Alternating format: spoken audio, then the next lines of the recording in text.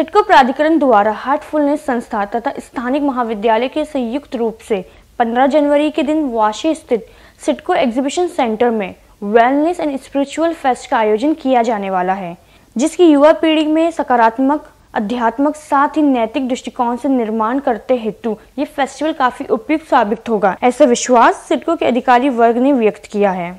हाल ही में पत्रकार परिषद लेके हुए स्थापक के संचालक संजय भाटिया ने इस फेस्टिवल के आयोजन का मकसद स्पष्ट किया, जहाँ जीवन में निरोगी स्वास्थ्य, मन शांति प्राप्त हो, ध्यान धारण और विभिन्न साधना से जुड़ा शस्त्र शुद्ध प्रशिक्षण दिया जाएगा। जीवन में निरोगी स्वास्थ्य, मन शांति प्राप्त हो, ध्यान धारणा और विभिन्न साधना से जुड़ा शास्त्र शुद्ध प्रशिक्षण दिया जाएगा। ऐसी जानकारी भी दी।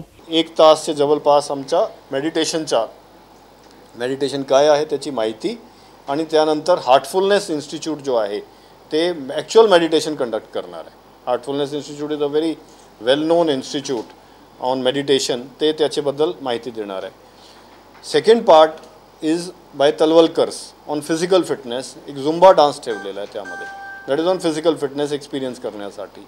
Third part is very different कारण आजचे जे यूथ आहेत त्यांना हे डी जे वगैरे खूप आवडतात.